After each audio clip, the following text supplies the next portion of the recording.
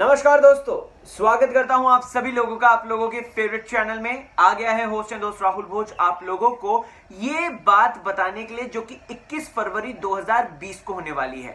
21 फरवरी 2020 को आप एक ऐसा लव एक्सपीरियंस करेंगे जो कि समाज के सारी बाउंड्रीज को तोड़ता है। ये कौन सा लव है दोस्तों? ये है सेक्शन 377 का लव यानी कि एक पुरुष पुरुष से लव कर सकता है, एक महिला महिला से लव कर सकती है। और ये ये जो, जिस तरीके का लव है दोस्तों, यानी कि एलजीबीटी इसके बारे में एक फ़िल्म आने वाली है, जिसका नाम है शुभ मंगल ज़्यादा सावधान। देखे भाई, Ayushmann Khurrana is the content king और आयुष्मान खुराना कंटेंट के लिए कुछ भी कर सकते हैं। हमें एंटरटेनमेंट का डोज वो इतने बेहतरीन कॉन्सेप्ट के साथ ही ला सकते हैं। यूँ तो अगर बात की जाए दोस्तों तो होमोसेक्सुअलिटी पर बहुत सारी फ़िल्में बॉलीवुड में नहीं बनी है। कुछ कुछ बनी है कुछ कुछ गिमिक होती हैं कुछ कुछ दोस्तों जो है काफ़ी ज़्यादा हार्ड हिटिंग होती है, जो कि एक कमर्शियल लेवल पर आती है।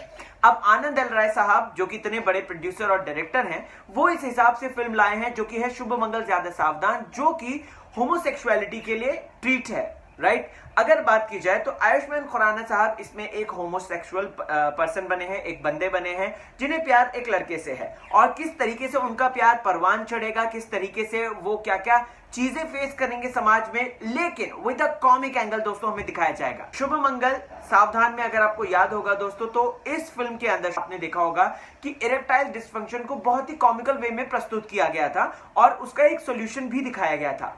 इस फ़िल्म के अंदर दोस्तों, यानी कि शुभ मंगल, ज़्यादा सावधान में होमोसेक्सुअलिटी को भी एक अलग अंदाज में प्रस्तुत करने की पूरी कोशिश है।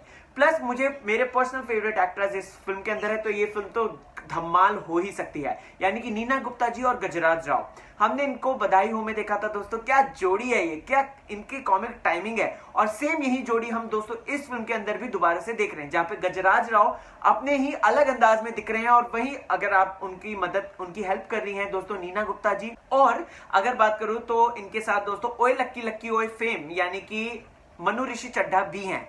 सो ओवर एंड ऑल दोस्तों कंटेंट से भरपूर ये फ़िल्म है और प्लस ये सब्जेक्ट को बड़े ही अलग तरीके से ट्रीट करेगी। देखना दिलचस्प रहेगा। बट कुछ कुछ चीज़ें जो ट्रेलर की दोस्तों मैं शौक रह गया वो ये रह गया कि आयुष्मान खुराना और जो उनका मेल लव पार्टनर बना है उसके बीच की किस बाप रे। इतनी सभा के सामने इस तरीके का एक एंगल दिया है। आयुष्मान खुराना की अगर मैं बात करूँ दोस्तों तो ये चौंका ही जाते हैं। जहाँ पर हमने ड्रीम गर्ल के अंदर उन, उनको दोस्तों घाघरे चोली पहने हुए एक एक स्पीच एक मोनोलॉग देखा था जो कि हिंदी फ़िल्मों के हीरो ज़्यादातर अवॉइड करते हैं। वहीं हम यहाँ पर दोस्तों, आयुष्मान खुराना को एक मेल टू मेल किस करते हुए देखते हैं, जो कि हैरान करने वाली बात है कि बताओ, इतना एक्टर कंटेंट के लिए और सिनेमा के लिए, अपने पैशन के लिए बहुत सारी चीज़ें कर सकते हैं। वाह more power to you Ayushmann Khurrana साहब। आप इसी तरीके के डिफरेंट कंटेंट और लाइए और डायरेक्टर प्रोड्यूसर आप लोग तो हैं ही इस फ़िल्म को हिट कराने के लिए। आनंद सर का नाम जिसके साथ जुड़ जाता है, वो तो हिट होगी ही होगी।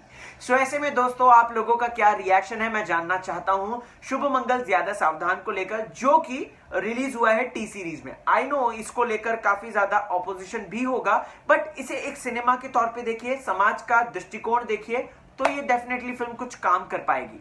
आप लोगों को क्या कहना है? कमेंट सेक्शन में ज़रूर बताएँ और सोच का दायरा थोड़ा सा बदल के बताएँ।